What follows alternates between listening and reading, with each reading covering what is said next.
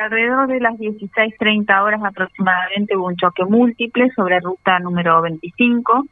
altura del pórtico de acceso a Rawson, donde un vehículo por fiesta color gris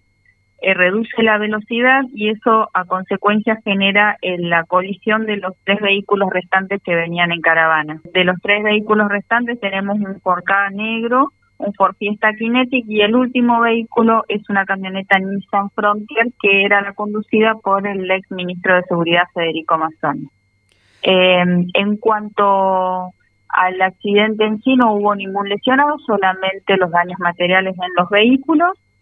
eh, se practicaron los test de alcoholemia a los cuatro conductores. Eh, el testeo se llevó a cabo por personal de la Agencia Provincial, Provincial de Seguridad Vial y arrojaron resultado negativo los cuatro.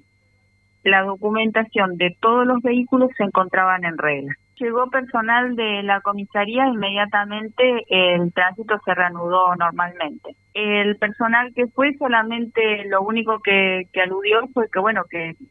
redujo un poco la velocidad como para bajarse de la calzada de la ruta y bueno, y ahí a consecuencia los vehículos que venían atrás, el Forca logró esquivar el,